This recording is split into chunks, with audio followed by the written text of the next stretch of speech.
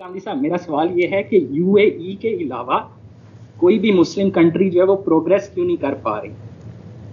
Progress क्यों नहीं कर पा रही? प्रोग्रेस क्यों नहीं कर पा देखिए बात यह है कि किसी मुसलमान मुल्क हो या गैर मुस्लिम मुल्क हो उसके तरक्की करने के लिए कुछ नागुजीर अवामिल होते हैं।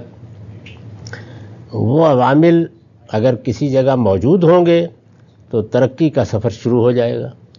नहीं मौजूद होंगे तो बस लोग टामक टूइयाँ मारते रहेंगे, नतीजा नहीं निकलेगा।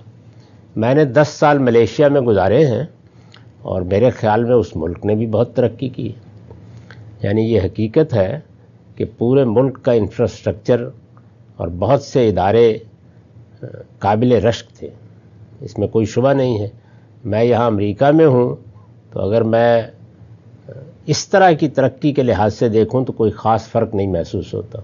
यानी अगर बाहर सड़क पे आप निकलें इमारतों को देखें या इसी तरह से दफ्तरों के नज़म को देखें तो उसमें कोई बड़ा फ़र्क नहीं महसूस होता। तुर्की में भी जाके देखा तो मालूम हुआ कि वहाँ पर भी ये चीज़ मौजूद है।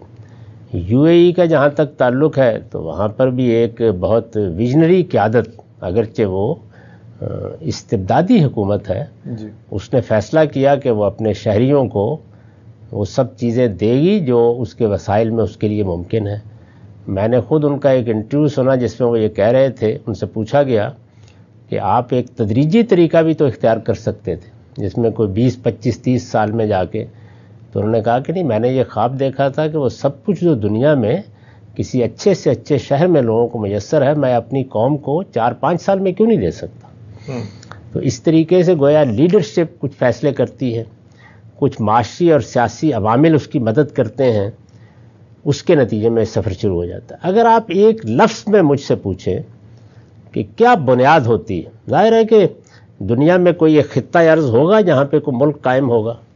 लोग तो लोग हर जगह होते हैं, सबकी आरज़ू होती है कि उनको अच्छे हालात मैसर हो अच्छा माहौल मैसर हो।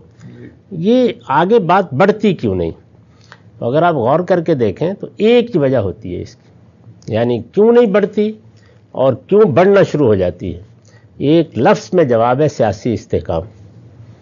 यानी अगर आप किसी मुल्क के नज़म में, जो इज्तमाही नज़म है, इस्तेकाम पैदा करने में कामयाब हो जाए। इस्तेकाम कैसे पैदा होता है? यानी रियासत का नज़म कैसे चलना है? किन कायदों पर चलना है? किस तरह से उसको आगे बढ़ना है? यानी आपने आमरीत का फ़ैसला कर लिया। आपने इस्तबदाद का फ़ैसला कर लिया, आपने बादशाहत का फ़ैसला कर लिया, आपने जमहूरीत का फ़ैसला कर लिया।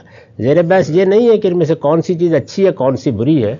मैं तो जमहूरीत को ईमानियात में से समझता हूँ, लेकिन सियासी इस्तेकाम जैसे ही पैदा हो जाता है, तरक्की का सफ़र शुरू हो जाता है। और बदतरीन होते हैं वो लोग और इदारे जो किसी मुल्क में सियासी इस्तेकाम पैदा नहीं होने देते। ये मज़हब के नाम पर पैदा ना होने दिया जाए सालमियत के नाम पर पैदा ना होने दिया जाए, कौमी मफाद के नाम पर पैदा ना होने दिया जाए, बदतरीन जुर्म है। और सियासी इस्तेकाम अगर नहीं होगा तो आपकी सब तमन्नाएँ बिल्कुल ख्वाब बन के रह जाएँगी। तो बुनियाद ये है पॉलिटिकल स्टेबिलिटी बहुत अच्छे तरीके से बताया सर आपने, बहुत शुक्रिया।